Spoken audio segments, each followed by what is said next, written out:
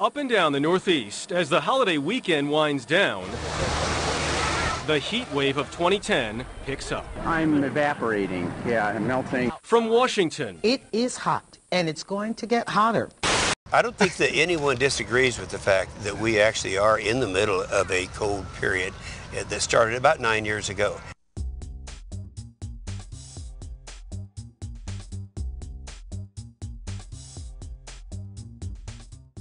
Had nine years of a global cooling trend since the 1st of January 2001. Weather experts are calling it the hottest summer in recorded history. Temperatures soaring above 30 Celsius have hit Europe, central and eastern parts of the US and western Asia. and this is this is not anecdotal. This, this is scientific temperature research surveys. We are actually cooling. It's not just Greece that's being affected by this heat wave. Temperatures in other parts of Europe are topping 40 degrees Celsius. In Russia, they're experiencing their worst drought in a century. 25 million acres of crops have been ruined. Dennis Avery of the Hudson Institute joins those predicting the next 20 to 30 years will actually bring cooler temperatures. The Earth's temperatures have dropped an average of six tenths of a degree Celsius in the last two years.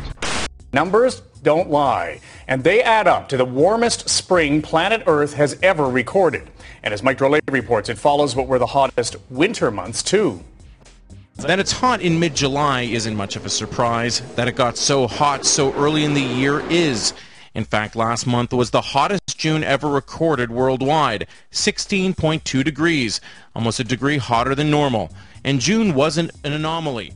The year-to-date temperature of 14.2 degrees is a record, putting 2010 on pace to becoming the hottest year ever. The evidence is overwhelming. Around the world where it's normally cool, it's now hot, scorching hot. Europe, from Hungary to Austria, Italy and Russia, is experiencing a terrible heat wave. In the looking glass world of climate deniers, down is up, black is white, and hot is cold. The global temperatures uh, by NOAA uh, are seven of the eight warmest years on record have occurred since 2001. The 10 warmest years have all occurred since 1995. So uh, let me let me start, uh, if I may, uh, uh, Joseph D'Aleo.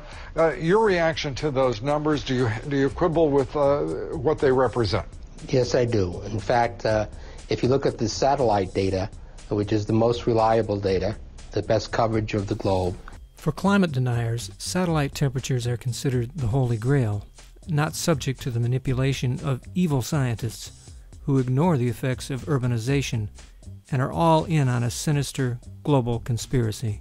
And Lou, you know, your people in in, this, in your uh, studio know that uh, if they live in the suburbs of New York City, it's a lot colder in rural areas than it is in the city. So now we have more urban uh, effect in in those uh, numbers, uh, reflecting uh, that show up in that that enhanced or uh, exaggerated warming in the global data set. Satellites are fantastic tools, and a fleet of Earth observation satellites give us a richly detailed view of planetary processes. But they're only as good as the men that manage them. The late Stephen Schneider explained in a recent lecture. We've had surface thermometers which for 150 years have shown what IPCC has called an unequivocal warming trend. And it was challenged for 20 years by people using satellite measurements of the radiance of microwaves from oxygen atoms. And that was supposed to give you a global picture that eliminated some of the thermometer problems like cities warming up and that, you know, pollutes the record. Now this, this, this is the important one. This is what gives us temperature. This is a microwave sounding unit, which kind of acts like a microwave oven but in reverse. Instead of emitting microwaves, it receives and records microwaves. And depending on the amount of microwave radiation it receives, that gives us an idea about temperature. So, oh, let's use the satellite. That gives you the bird's eye picture. The problem is that these microwaves are emitted not just from the from from the oxygen atoms as in proportion to their temperature, but from the surface, from thick clouds at different elevations. It's a heroic effort to build a model to reconstruct how to interpret that satellite measured stuff. There is no satellite thermometer. There's a satellite model. One of the most important satellite databases is managed at the University of Alabama at Huntsville, or UAH. A key leader in the UAH team is Dr. John Christy. Dr. Christy is one of a tiny percentage of working climate scientists who does not believe climate change is a serious problem. I am writing the American Meteorological Society's report on upper air temperatures. I have seven data sets in there. Turns out they're all very, very close together. So the planet is warming about 0.14 degrees C per decade right now. Okay.